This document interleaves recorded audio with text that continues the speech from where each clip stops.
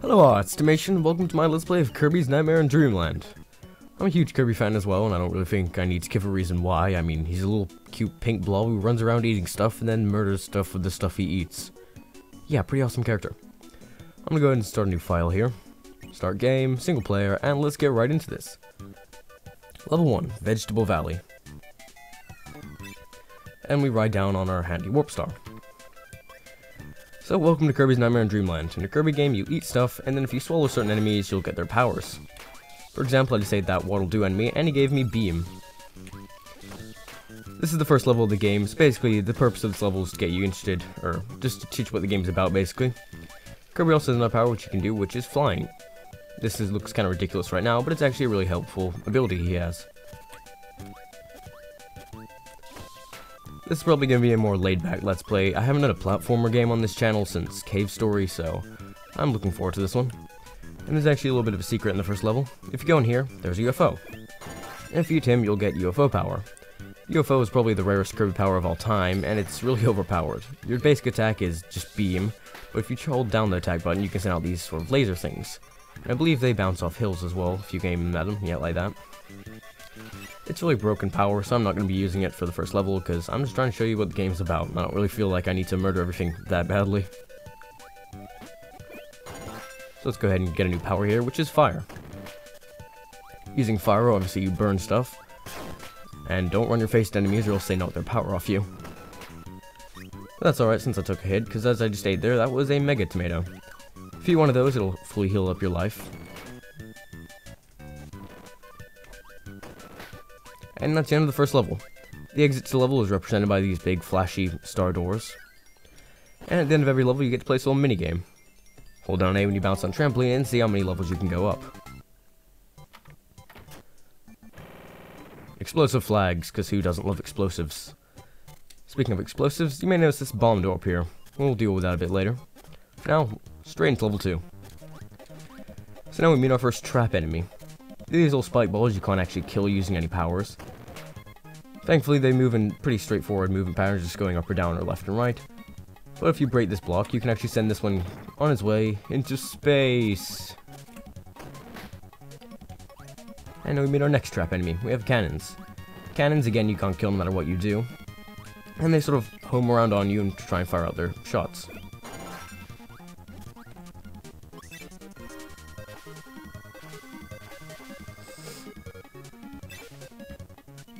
Fancy.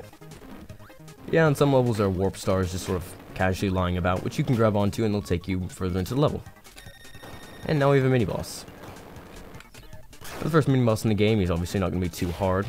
He bounces around and occasionally throws bombs at you, and occasionally also jumps across the screen. If you eat him after you murder him, you'll get Crash.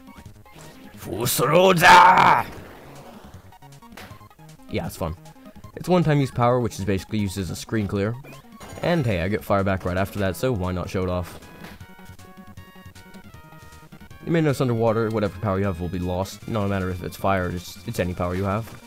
Underwater you get Scuba Kirby, which fires out this adorable little water splash thingy. If any other normal enemies end up going into water, they will die, unless it's a fish or an aquatic type enemy.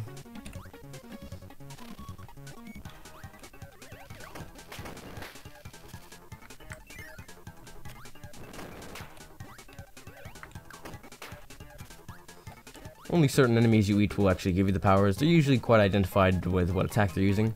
For example, this mushroom here wasn't actually using any attack, so if we try and eat him, he's not doing anything. But this dude with the sword, we eat him, we get sword power. Sword is a melee type attack. If you're standing still and you use it, you'll just do sort of a slash. If you slide while using it, you do sort of downward swing. And if you use it midair, swoosh, swoosh, swoosh, big midair slash thingy.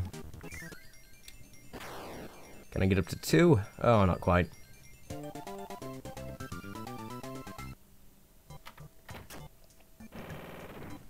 Also, can I just mention how adorable it is that Sword Kirby kind of makes Kirby look like Link from the Legend of Zelda series? I'm not sure whether that was intentional, but it's adorable nonetheless. So let's check out what this bomb door is all about. Bomb rally. Press A to hit the bomb. Well, that sounds safe. And then you realize we're hitting bombs with a frying pan. Health and safety out the window. So throughout the game, there's, there are these little mini games you can play. This is the first one in the game, Bomb Rally. Basically, you're hitting around a bomb through a group of colored Kirby's with a frying pan. After the bomb's been tossed around enough, one of the four Kirby's will go boom.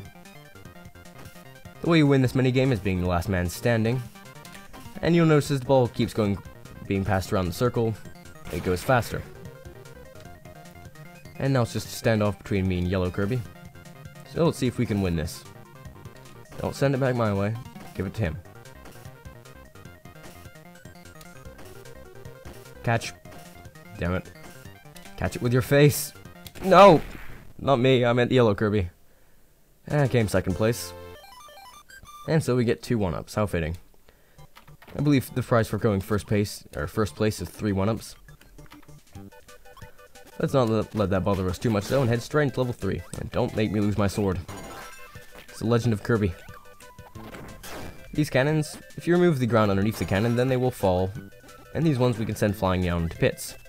So let's send Neos 3 down there to go up a party. And nope, give me my sword.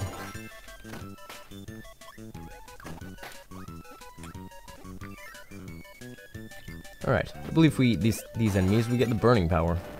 Which turns Kirby into a fiery chicken that turns him into a comet which he goes flying at enemies with. Yeah, health and safety not a big issue in Kirby games apparently.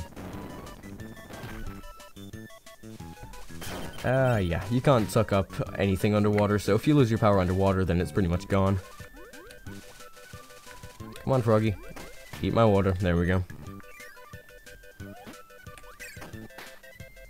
Also, if you need if you eat an enemy and you don't feel like swallowing it, you can just spit it right back out and hurt another enemy with it.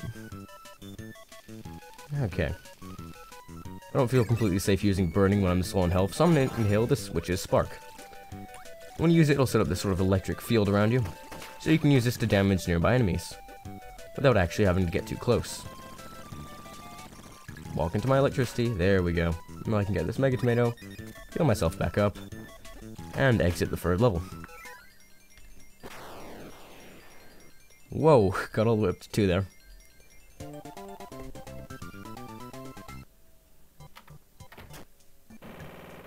And with that, we've unlocked the fourth level and this mysterious door right here. Next time on Kirby's Nightmare in Dreamland, we'll be checking out well, we'll be checking out what this door does and progressing onto the fourth level. See you guys then.